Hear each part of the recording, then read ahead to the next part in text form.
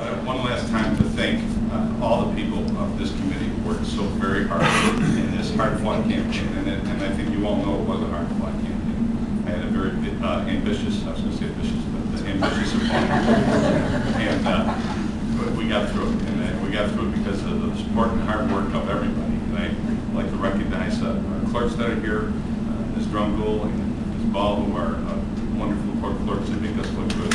And I thank you all again. Happy New Year. appreciate the opportunity to be able to represent the people of Pittsford uh, once again.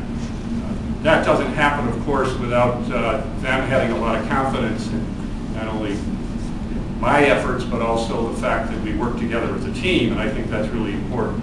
You know, Bill and John and Sandy and Karen and I have worked hard to bring really responsible and sensitive government to the to the town of Pittsford. I know we're looking forward to doing that again. Uh, Thanks too to the Pittsford Republican Committee for all the support that you've given me uh, in the past and in the future. Thanks a lot. Happy New Year. I'd just like to thank everyone who came today and everyone who's worked so hard on our campaign, especially my family and my father.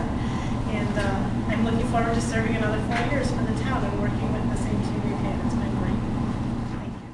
This is a real honor to do this. This is my eighth swearing-in ceremony, and uh, each one is very, very important, and I take this very important. I think one of the things that sets Pittsford apart is we understand that politics is a way to get elected, but really, it's about day-to-day good governance. Uh, I don't like the style of politics that's creeping down the local level. Uh, I think politics is a method, but I think it's getting to be a madness. So I think that good governance, open governance, and serving people irrespective of who they are, what they are, is what we believe in, and we will continue to do that. And uh, I think that's the hallmark of this administration.